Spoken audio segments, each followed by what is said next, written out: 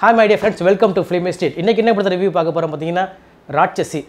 அந்த படத்துக்கு இப்படி நீங்கள் டெரரா நிற்கிறேன்னு கேட்குறது புரியுது. வேறு ஒன்றும் இல்லை இந்த படத்தில் ஜோதிக்கு அப்படி ஒரு போல்டான அட்டம் கொடுத்துருக்காங்க. ஸோ அதனால இந்த மாதிரி இன்ட்ரோ சரி ஓகே இந்த படத்தோட கதை என்ன அப்படின்னு கேட்டிங்கன்னா இந்த ஸ்கூல் உருப்படே உருப்படாது அப்படிங்கிற மாதிரி ஒரு அரசு பள்ளி இருக்குது அந்த அரசு பள்ளிக்கு தலைமை ஆசிரியராக நம்ம கீதாராணி என்கிற ஜோதிகா வராங்க. வந்த பிறகு அந்த ஸ்கூலில் வந்து ஒரு ப்ரைவேட் ஸ்கூலுக்கு நிகராக அதை எப்படி கொண்டு வராங்க? சொல்லப்போனால் அதுக்கு ஒரு படி மேலேயே கொண்டு வராங்க. அதுதான் இந்த படத்தில் ஆன்லைன் கதை. ரீஎன்ட்ரி கொடுத்த பிறகு ஜோதிகா வந்து பல வெரைட்டியான சினிமாஸ் பண்ணிகிட்டு இருக்காங்க. முப்பத்தாறு வயது நிலையில மகளிர் மட்டும் நாச்சியார் அப்படிங்கிற மாதிரி. அந்த மாதிரி ஒரு வரிசையில் வந்திருக்கிற படம் தான் இந்த படம் ராட்சசி. ஸோ இந்த படத்தில் ஜோதிகா வந்து ஒரு போல்டான கேரக்டர் பண்ணியிருக்காங்கன்னு சொல்ல ஒரு தலைமை ஆசிரியர்னா இப்படி தான் இருக்கணும். அவங்க நல்லா இருந்தால் மட்டும் அந்த ஸ்கூலில் டீச்சர்ஸ் நல்லா இருப்பாங்க. ஸ்டூடெண்ட்ஸ் நல்லா வருவாங்க. நாளை நல்ல சமூகம் உருவாகும் அப்படிங்கிறதுக்கு வந்து வாழ்ந்து காட்டியிருக்காங்கன்னு சொல்லலாம் கீதராணிங்கிற கேரக்டரில் ஸோ அவங்களுக்கு ஒரு ஆட்ஸாக சொல்லிடலாம். அடுத்து அவங்களுக்கு ஒரு நிகராக ஒரு வில்லன் ரோல் பண்ணியிருக்காரு ஹரிஷ் பராடி. அவரும் தன்னுடைய ரோல் வந்து அழகாக பண்ணியிருக்காரு. அவர் பேசுறது கூட அப்படியே லிப்பு மட்டும் அந்தளவுக்கு தெரியாது. ஆனால் டெரராக ஒரு ஃபேஸ் வச்சுக்கிட்டு பேச டைலாக்லாம் செம்மையாக இருக்கும். அவங்க இல்லாமல் அருள்தாஸ் பூர்ணிமா பாக்கியராஜ் இப்படி இருக்காங்க. முக்கியமாக இந்த படத்தில் ஆட்டோ டிரைவர் ஒருத்தர் வருவார். அவர் யாருன்னு பார்த்தீங்கன்னா பிச்சைக்காரன் படத்தில் வந்து ஐநூறு ஆயிரம் நோட்லாம் செல்லாது சொல்லணும் அப்படி சொல்லியிருப்பார் இல்லையா? அவர் தான் அவர் கூட சில பஞ்சு அப்போ சொல்லிட்டு இருப்பார். முதல்ல இந்த எக்ஸாம் சிஸ்டத்தை ஒழிக்கணும்ப்பா. இதுக்கு கருத்து வந்து நாளைக்கு சொல்கிறேன் அப்படிம்பாரு. அந்த மாதிரி சின்ன சின்ன சுவாரஸ்யமான சம்பவங்கள் நிறையா இருக்குது படத்தில். அது மாதிரி ஒரு குட்டி பையன் வருவான். அவனுடைய சீன்ஸ் ரொம்ப அழகாக பண்ணியிருப்பாங்க. இது இல்லாமல் வந்து நிறைய ப்ளஸ் டூ பசங்க அருள்தாஸில் பையனாக ஒருத்தர் வருவான். இவங்கெல்லாம் பார்த்தீங்கன்னா ரொம்ப சப்போர்ட்டிங் கேரக்டர் ரொம்ப அழகாக எக்ஸிக்யூட் பண்ணியிருப்பாங்கன்னு சொல்லலாம். ஸோ படத்தில் வந்து எந்த கேரக்டருமே வந்து வேஸ்ட் பண்ணலை அப்படின்னு டேரக்டர் சொல்லலாம். அது மாதிரி ஒரு அசிஸ்டன்ட் ஹெட் மாஸ்டர் ஒருத்தர் வருவார். அவருடைய ரோல் அழகாக இருக்கும். பிடி மாஸ்டர் நம்ம சத்தியன் வர்றாரு அவர் எப்போ பார்த்தாலும் சாப்பிட்டுக்கிட்டே இருப்பார் அவர். அவர்கிட்ட ஜோதி ஒரு மூணு கேள்வி கேட்பாங்க. அந்த கேள்வியில் கேட்கும்போது ரொம்ப அழகாக இருக்கும். ஒவ்வொரு டீச்சர்ஸ்ட்டு மூணு மூணு கேள்வி கேட்பாங்க. அது ரொம்ப அழகாக இருக்கும் பார்க்கும்போது தெரியும் உங்களுக்கு. அது மாதிரி ஜோதிகோட அப்பா ஒருத்தர் வருவார். அவரோட ரோல் அவர் அழகாக நல்லா பண்ணியிருக்காருன்னு சொல்லலாம். அவர் வரும்போது வீட்டுக்கு வந்து வில்லன் ஒருத்தர் வருவார். அந்த அவங்க ரெண்டு பேரும் மோதிர மாதிரி சீன் ஒன்று இருக்கும். அதாவது என்ன சொல்லுவோம் வார்த்தையால் மோதிர மாதிரி இருக்கும். ரொம்ப அழகாக இருக்கும் அந்த சீன் பார்த்தீங்கன்னா. ஸோ அடுத்து நம்ம டெக்னீஷியன் வந்து பார்க்க போகிறோம் இந்த படத்துக்கு மியூசிக் யார் பண்ணியிருக்காரு ஷான் ரோல் தான் பண்ணியிருக்காரு.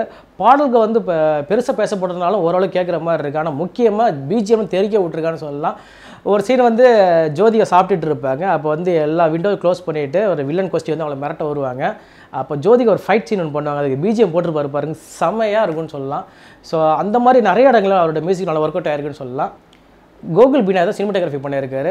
ஒரு ஸ்கூல் ரொம்ப மோசமான நிலையில் இருந்தால் எப்படி இருக்கும்? அதே ஸ்கூலில் வந்து ரொம்ப மாடர்னைஸ்டாக இருந்தால் எப்படி இருக்கும் அப்படிங்கிற ரெண்டு விஷயத்தை அழகாக தன்னுடைய கேமராவில் காட்டியிருக்காருன்னு சொல்லலாம். அவருடைய ஒர்க்கில் எந்த விதமான குறைகளும் கிடையாது. எடிட்டிங் வந்து ஃபிலோமின் ராஜ் பண்ணியிருக்காரு. ஆனால் ஃபர்ஸ்ட் ஆஃப் போகிறதே தர ரொம்ப ஃபாஸ்ட்டாக போயிடுது ரேசியாக போயிடுது. ஆனால் செகண்ட் ஆஃப் நிறைய இடத்துல லேக் ஆகிற மாதிரி இருக்குது முக்கியமாக வந்து பூர்ணிமா பாக்கியராஜும் நம்ம ஜோதிகாவும் பேசுகிற அந்த லவ் சீன்ஸ் அந்த ஃப்ளாஷ்பேக் சீன்ஸ்லாம் பார்த்தீங்கன்னா கொஞ்சம் படத்தை படத்தில் லேக் ஆகிற மாதிரி இந்த படத்துக்கு தேவையா அப்படிங்கிற மாதிரி ஒரு கொஸ்டின் மார்க்கு நமக்கு ஒன்று உண்டு பண்ணுது. கௌதம் ராஜுங்கிறத படத்தை டைரக்ட் பண்ணியிருக்காரு. அவர் ஒரு அரசு பள்ளியில் தான் படிச்சிருவார்னு நினைக்கிறேன். ஏன்னா அந்த அரசு பள்ளியில் நடக்கிற விஷயங்கள் அவ்வளோ அழகாக சொல்லியிருப்பாங்க. டீச்சர்ஸ்லாம் தன்னோட கவர்மெண்ட் சேலரி வருது நம்மளாம் எதுக்கு ஒர்க் பண்ணணும் அப்படிங்கிற மாதிரி இருப்பாங்க இல்லையா? அந்த மாதிரி விஷயங்கள் நிறைய காட்டியிருக்காரு அவர்.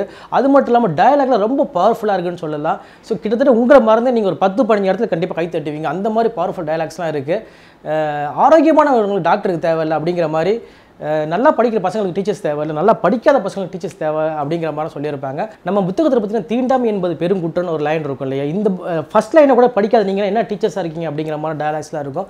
ரொம்ப அழகாக இருக்கும். அந்த மாதிரி நிறைய பவர்ஃபுல் டயலாக்ஸ்லாம் இருக்குது ஸோ சேலரி பத்தில் அப்படி சொல்லிட்டு போராட்டம் பண்ண டீச்சர்ஸ் என்னைக்காச்சும் நம்மளுடைய பாடத்திட்டங்கள் சரியில்லை அப்படின்னு சொல்லி போராட்டம் பண்ணியிருக்கீங்களா அப்படிங்கிற மாதிரி நிறைய கேள்விகள் இருக்கும். ஸோ இதெல்லாம் கண்டிப்பாக வந்து மாற்றப்பட வேண்டிய விஷயமா நம்ம பார்க்குறோம்.